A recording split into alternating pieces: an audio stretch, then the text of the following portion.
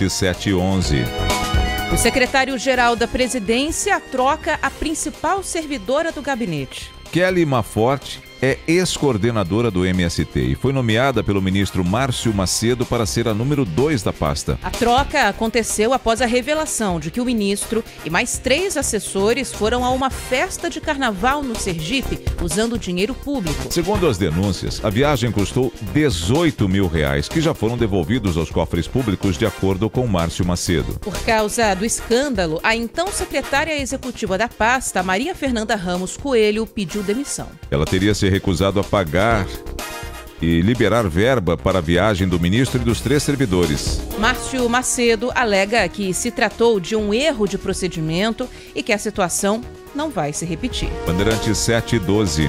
O Procurador-Geral do Ministério Público de São Paulo vai assumir a Secretaria Nacional de Segurança Pública do governo Lula.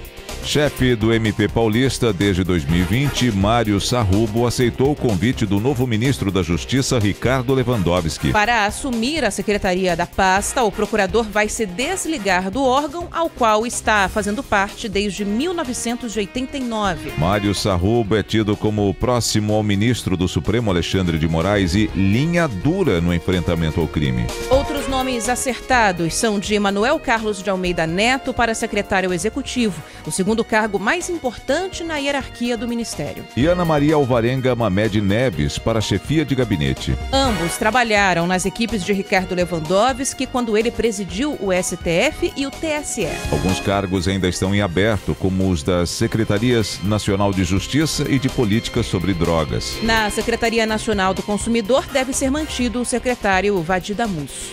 Bandeirante 713.